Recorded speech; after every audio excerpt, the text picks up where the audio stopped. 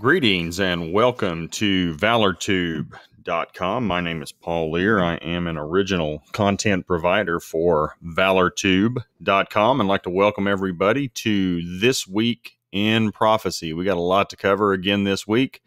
We're going to start off with some archaeological news um, in regards to the tomb of Nahum, the prophet. And you see that on the little red cursor over here. It's north of what is modern day Mosul, Iraq. Uh, this was kind of ground zero for ISIS when they were they were tearing stuff up across the Middle East. And um, had an article come out from the Times of Israel this week Saving Iraq's Tomb of Nahum, a secret mission resurrects Kurdistan's Jewish past. And with ISIS just miles away, a U.S. Army vet, two Israeli engineers, and the head of a preservation group carried out an audacious plan to restore an ancient shrine of the biblical prophet. Uh, I'm not going to go into a lot of detail with this, but for those of you who want to dig into the article and uh, it's a pretty lengthy read, goes into a lot of detail, and you can see what the uh, restored project looks like after all the uh, destruction that took place in and around the the prophet's tomb. Um, it's worth the read, and it's you know, and also f- for us in the West, we have the perspective these are just stories, and we often forget these were actually real people. They lived their lives and they died in these areas, and they were buried, and they're still revered to this day. I mean, we're looking, you know, in the case of Nahum, Nahum, however you want to say it, you're still looking at what, roughly 2,500 years ago. And uh, ISIS want, wanted to destroy these things. That's the best way to get them out of people's memories is uh, blow them up, get rid of them. Therefore, it doesn't exist anymore. You can't say it's real. Uh, so, again, if you want to take a deeper dive into the restoration, of what is one of the of the prophet Nahum in his tomb. Check out this article. Highly recommended again from the Times of Israel. Saving Iraq's tomb Nahum, a secret mission resurrects Kurdistan's Jewish past. And and we go from there. Um, in northern modern day northern Iraq, we're going to skip over here to what is Izmir, Turkey and Izmir, Turkey would be what is ancient Smyrna. And everybody knows ancient Smyrna from um, one of um, Revelation's seven churches. Turkish synagogues get makeover as Izmir strives for UNESCO stamp. An ambitious effort to revive Izmir's Jewish heritage is paying off as the Turkish city vies for a place on the UNESCO heritage list. And again, isn't it interesting that all these ancient cities, all these ancient places are back in the news 2,000, 2,500 years later? And they are taking up headlines uh, from the ancient biblical past. And all these places talk about an end time scenario where you have now uh, Izmir, which is ancient Smyrna, in the news and we're trying to revitalize that. And so, with that note, you know, if you want to check that out, go to almonitor.com. Turkish synagogues get makeover. Izmir strives UNESCO stamp is the uh, is the website. And from that, we're going to go to uh, this. This prophecy just will not let go. Ezekiel 38 and 39, and we're going to look uh, at things taking place in Libya. And about a month ago, Russia's Vladimir Putin looks to influence Libya's presidential election. And I posted on this uh, previously on This Week in Prophecy. And, um, you know, Putin wants to be a kingmaker. And he was throwing his support at the time by supporting Saif al Islam Gaddafi. And that's Muammar's, one of Muammar's sons. Um, you know, you can refer back to that and watch watch the video in regards to who is Saif al Islam Gaddafi. Well, here we are a month later, and now Turkey's kind of they're throwing their hat into the ring. Why has Turkey turned to Libya's Gaddafi family, realizing that its current allies are not sufficient to secure Turkey's interests in Libya? Ankara is now seeking to include Gaddafi family member into its calculus, except for we're not supporting Saif. We are um, going to support Saadi Gaddafi. This is another one of Gaddafi's sons. He's been released from jail. Um, and that's who the Turks are going to support. Um, he got out of jail and he ended up in Ankara with a meeting and um, had a little visit. And uh, Gaddafi was um, talking about the prospects for Turkish President Recep Erdogan's support. Um, Turkey will surely change its stance. Well, that's actually not a quote from Gaddafi. There was another quote down here. Biden, President Biden, had thrown his two cents in on this deal. And he's essentially, um, he's not supported by Biden. Biden sees him as a bit of a terrorist. I was on the, I think the, yeah, here it is. When the Biden administration opposed his return to politics, saying that Saif Gaddafi was a war criminal. Um, um, so the United States States is not on board with this, but uh, so you have now two Gaddafis potentially running for president of Libya, and it's almost just sitting here watching this. It's kind of like you know, well, whatever Russia does, whatever Putin does, it's like Erdogan has to follow up and he's going to get involved. So it's like Russia becomes active into uh, Syria. Well, Turkey follows up later. Russia goes and starts putting troops into Libya. Uh, Turkey follows up and does the same thing. Putin goes to support um, and choose one of the Gaddafis for political support to be president. Turkey follows up and picks another brother. So it's kind of like, okay, whatever. It's like anything you can do, I can do better, I guess. Which leads us to uh, an article from RT, Russia Times. Three Brothers 2021 Special Forces Forces of Azerbaijan, Turkey, and Pakistan conduct joint military drills for the first time ever.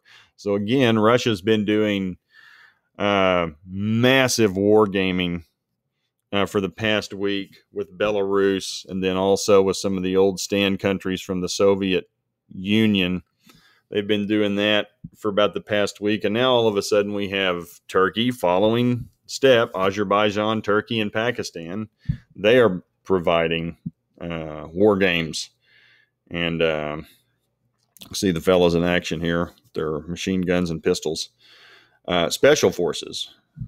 Um, and they're going to war game for another day till the 20th. Now I like this, and look who this this quote's from. One, this is from a Russian news source, two Russian news sources, and they're the ones reporting on the Turkish war games.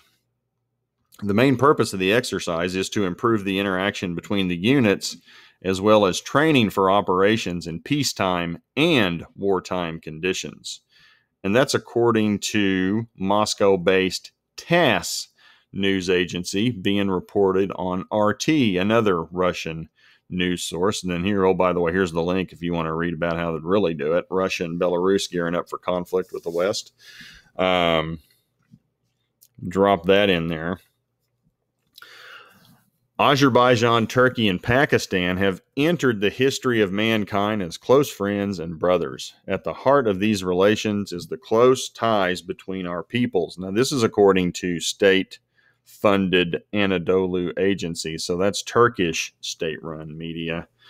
Uh, today, cooperation between our countries in all areas is at the highest level. Important measures are being taken to further strengthen and develop our relations to ensure the regions and people's security. Yeah, they, they all come in peace and security, which kind of takes us to our our next topic.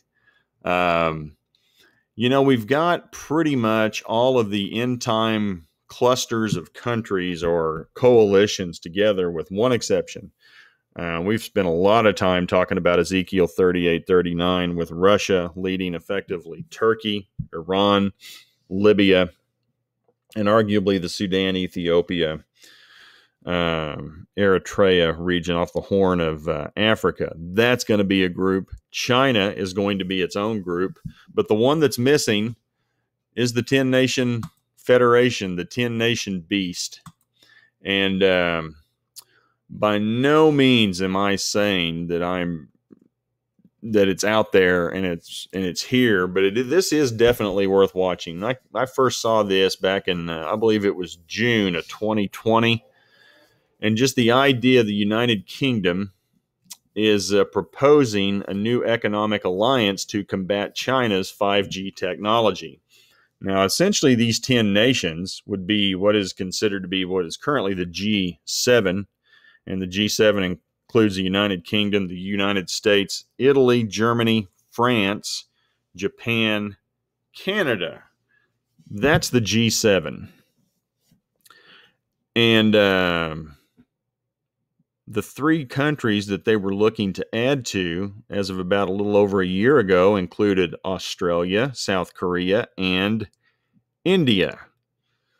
So this would be the G7 plus three new countries, and it's called the D10 Alliance proposed. Now, we also know, you know, we're going to scroll down. We're not going to spend a lot of time on this, but we do know when we look at Daniel, uh, Daniel's statue there shall we're going to look at Daniel 2 verses 40 through 43 there shall be a fourth kingdom kingdom strong as iron because iron breaks to pieces and shatters all things and like iron that crushes it shall break and crush all these and as you saw the feet and toes partly of potter's clay and partly of iron it shall be a divided kingdom but some of the firmness of the iron shall be in it just as you saw iron mixed with soft clay. And as toes of the feet were partly iron and partly clay, so the kingdom shall be partly strong and partly brittle. As you saw the iron mixed with soft clay, so they will mix with one another in marriage, but they will not hold together, just as iron does not mix with clay. And so, just watching things happen here initially this week, wondering out loud, speculating, conjecture, do your own thinking uh, don't believe the bald guy here behind the microphone. Are we watching this? Are we watching the pieces of this come together? And so, this 10 nation re- federation is the only thing that has yet to come to be. And we had significant news this week um, out of the United States, the UK, and Australia. They agreed to uh, sign a contract uh, the United States and the UK agreed to build and sell nuclear submarines to Australia. Australia will get nuclear powered submarines in a technology sharing deal with the US and the UK. Now, China's very upset about this. I'm going to go back to the globe here and we're going to take a look at this. And you can see why that would be the issue. Because, I mean, China, um, as it, as it stands right now, they're only flanked by South, or I'm sorry, only flanked by Japan in the uh, in the G7. But if you were to ask, add South Korea, if you were to add India, and you were to add Australia, now all of a sudden China would have India on its west, South Korea and Japan on its east, and Australia to its south. Uh, also, might be a way of looking at protecting uh, Taiwan, which the United States' has, policy has always been to protect Taiwan from an invasion of China. Um, so this is an interesting development that's been taking place. And again, it would be, you know, if you look at this, you're looking at uh, the old G7 or the current G7, the UK, the US, Italy, Germany, France, Japan, Canada, and again add Australia, South Korea, and India. Um, so Prime Minister Morrison tore up a $90 billion French deal to buy subs from the French. Now, the French um, were building diesel submarines. The United States and the UK are building nuclear submarines. Uh, President Macron of France is obviously upset uh, pulled the ambassador from the United States, the French ambassador from the United States. They're absolutely furious about it. Cost them $90 billion. China has warned the deal damages regional peace and stability and intensifies the arms race.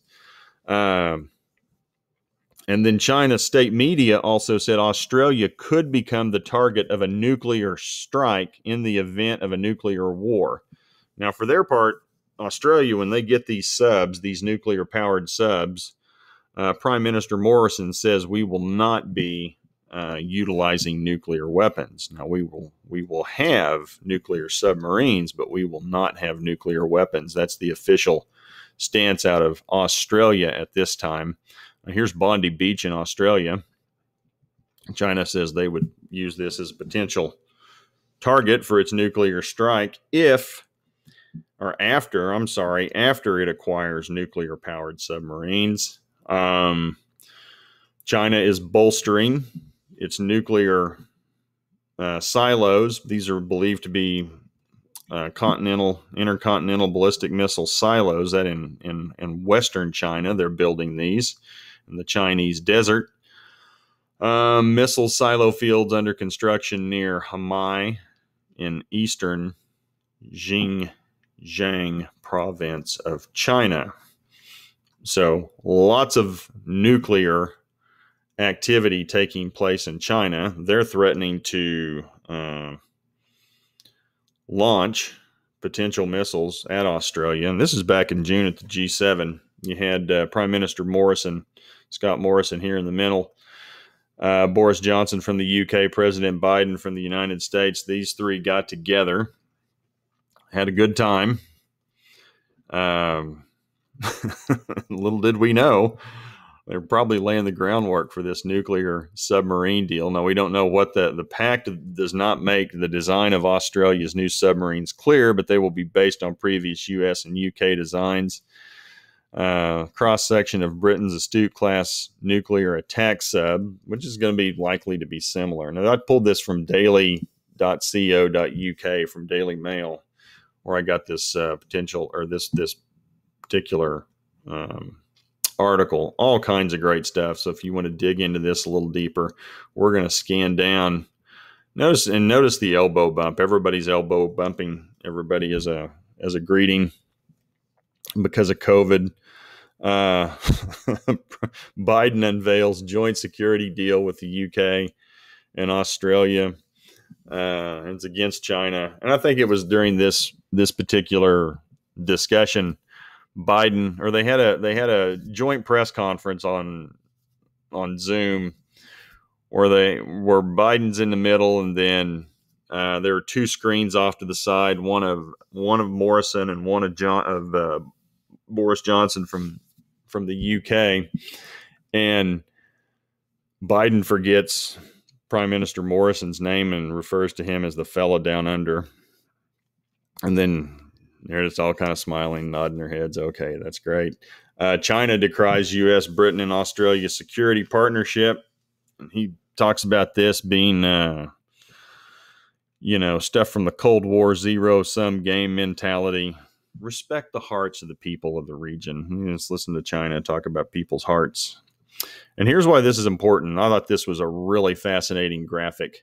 Head to head, the Chinese, U.S., British, and Australian navies um, so you can see China's got a lot of stuff, but by the time you combine the United States, the UK, and Australia, uh, total vessels just about even once you add the United States, the UK, and Australia. I think you got 252.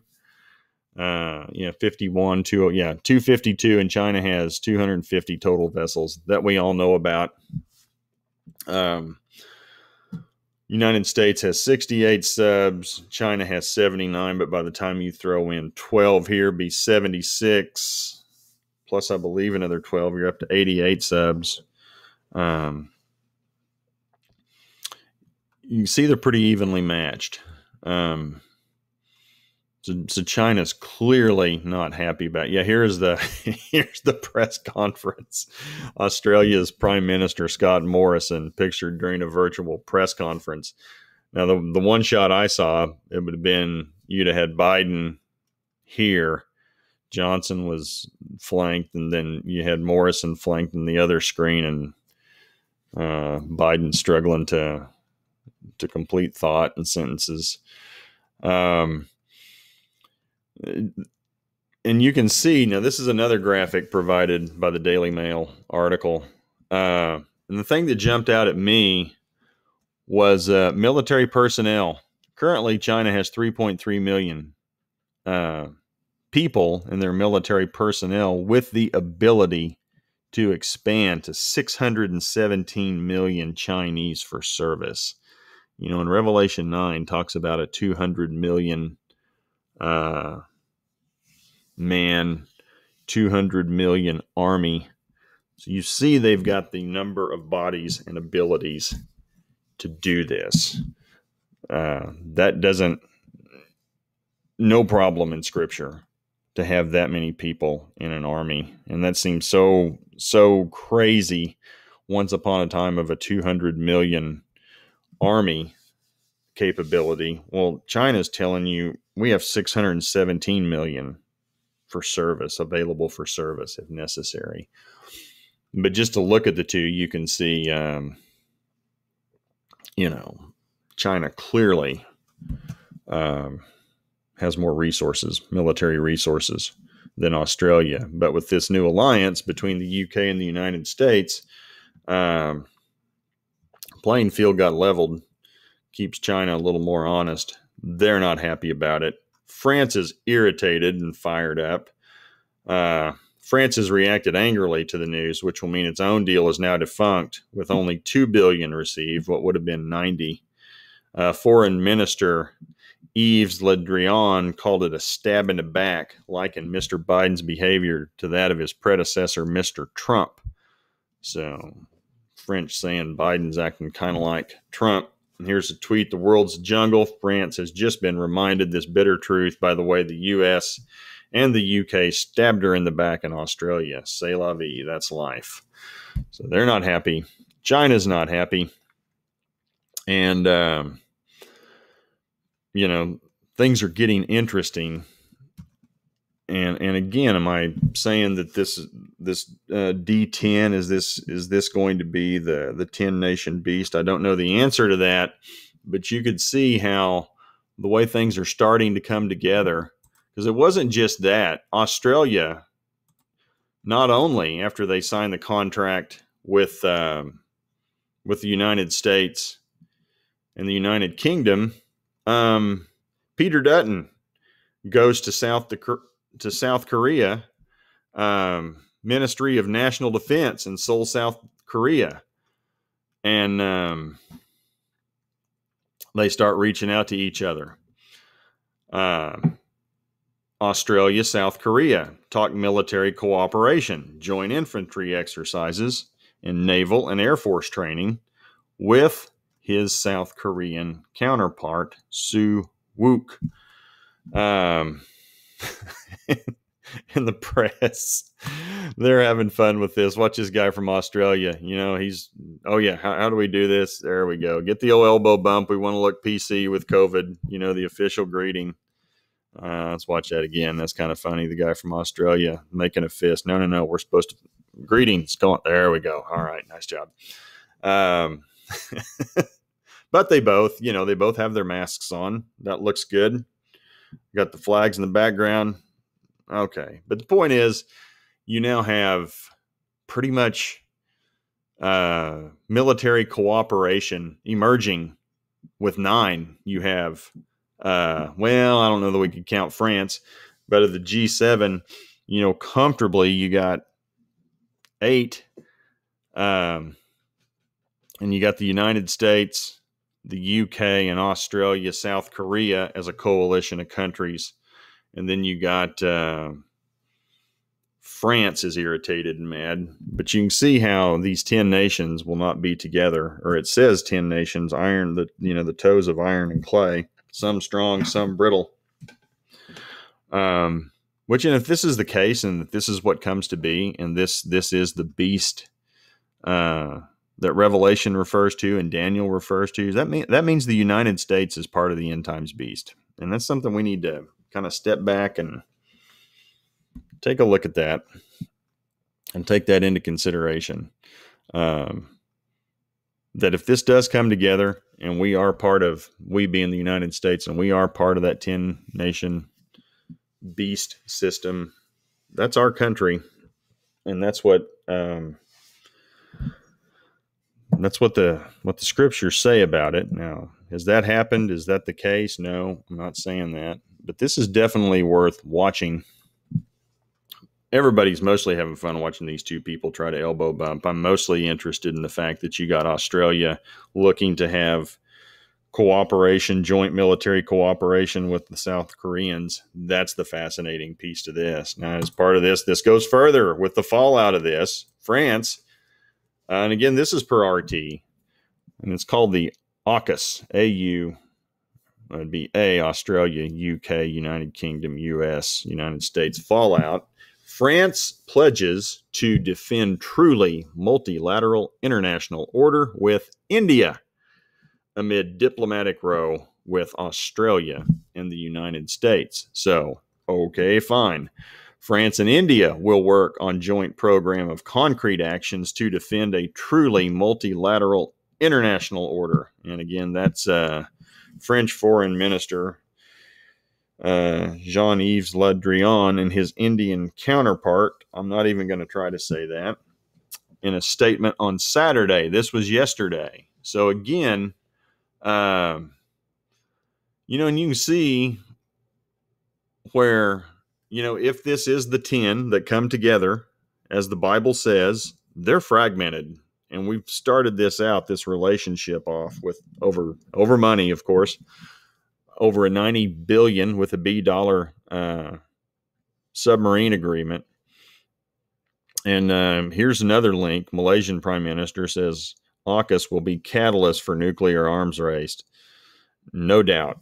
Uh, things will ramp up. India has nuclear weapons. France has nuclear weapons. Australia says they want nuclear submarines, but not nuclear weapons. Um, the diplomats vowed to continue to bring strategic partnership based on a relationship of political trust between two great sovereign nations, and that would be the French and the Indians.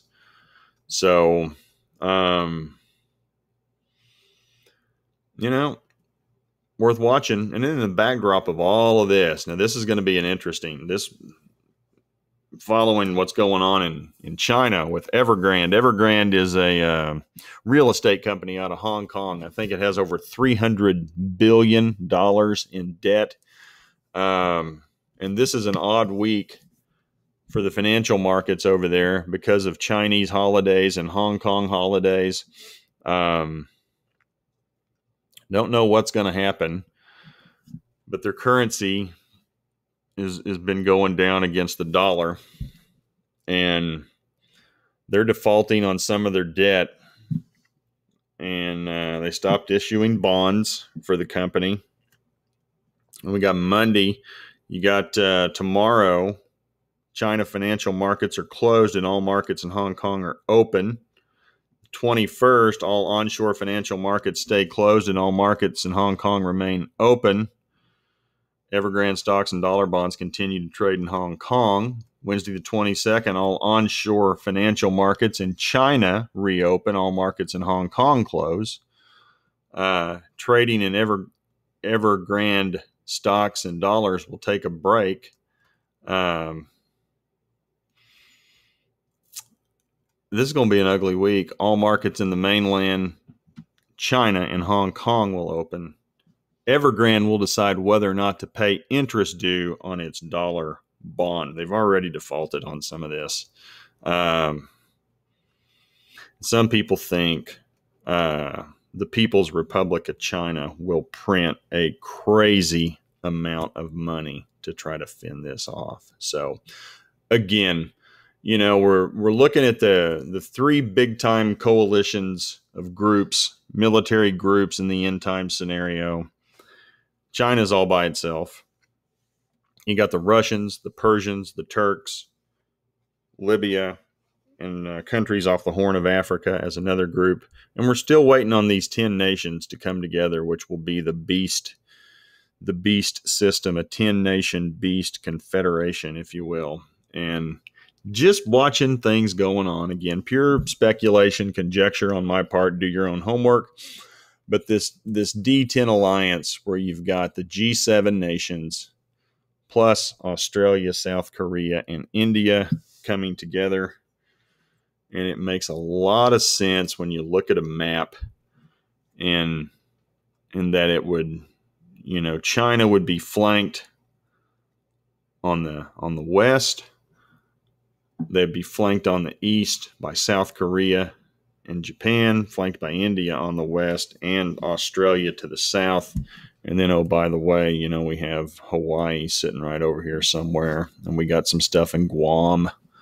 Uh, We've got a, I want to say, a naval group off the coast of Australia, and we have some naval resources in and around the Arabian Sea, so we wouldn't be far to, you know, go over the top or whatever.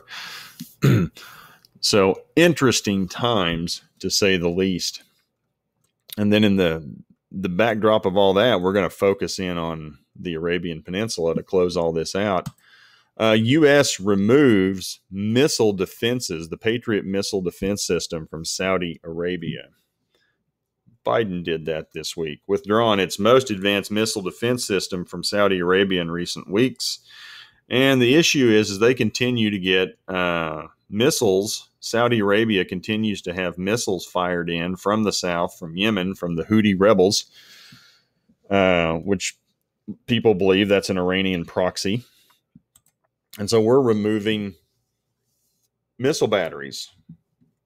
Uh, Saudi Arabia is losing the ability to, you know, take these missiles out coming out of the air. So, big picture, tens of thousands of American forces remain in the Arabian Peninsula. But Gulf Arab nations are increasingly worried about the U.S. plans as its military perceives a growing threat in Asia that requires those mi- missile defense missile defenses. So those are probably going to Australia. They're probably going to South Korea, um, maybe some to Japan because of what China's doing. And then you got the chairman over there in North Korea. He's starting to fire missiles again. Some of those may have gotten into some uh, Japanese airspace over the past week. And again, it's the same the same thing. The American withdrawal of its missile defense systems. You know, and again, we talked about the Houthis with drone attacks and firing missiles into Saudi Arabia or into the kingdom's airport. Um, here's the reality of it: perceptions matter, whether or not they're rooted in a cold, hard reality and the perception is very clear that the U.S. is not as committed to the Gulf as it has been in the views of many people in the decision making authority in the region. That's from Kristian uh, Ulrichsen.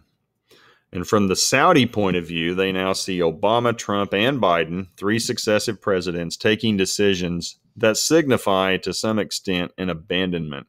And how can you blame them? I mean, they watched, they just watched what happened in Afghanistan. We pulled pulled our forces out of Afghanistan, and again, it looks like these things are being relocated to the Pacific, um, because what they see is a bigger threat in China, and Russia's stepping in and filling the vacuum in the Middle East. So again, you know, you have uh, Ezekiel 38, 39 coming into play with Russia asserting itself in the Middle East.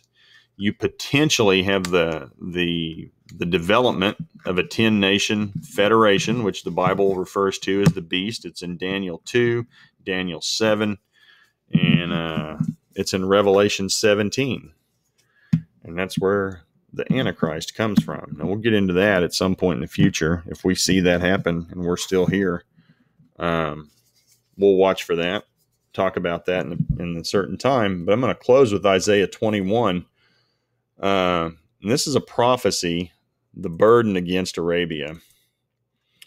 In the thickets of Arabia, you must lodge, O caravan, caravans of Dedanites. Um, bring water for the thirsty, O dwellers of Tema. meet the refugees with food, for they flee from the sword, the sword that is drawn, from the bow that is bent, from the stress of battle. For this is what the Lord says to me within one year, as a hired worker would count it, all the glory of Kedar will be gone. The remaining archers of the warriors of Kedar will be few. Uh, for the Lord, the God of Israel, has spoken. Now, obviously, this is, you know, from one year from when this was written by Isaiah. But it just makes you wonder, you know, are we going to watch history repeat itself?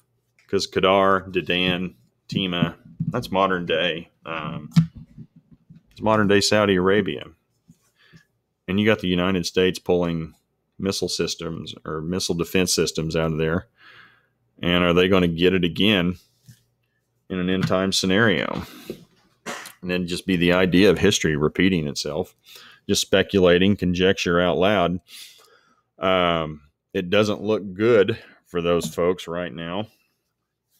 And I think that's why you see you know, the countries of the Saudis, um, Egypt, Jordan, Israel aligning with each other because of the threat from Iran. So we got all kinds of things, and this is a busy week, and and this stuff, you know, again continues to happen at a very rapid pace. I can remember, golly, two two years ago, you know, if we had one of these stories, it would be a big deal. And look at all the stories we've covered in just one week. I mean, holy cow. I got 10 to 15 stories. And we got things we're watching.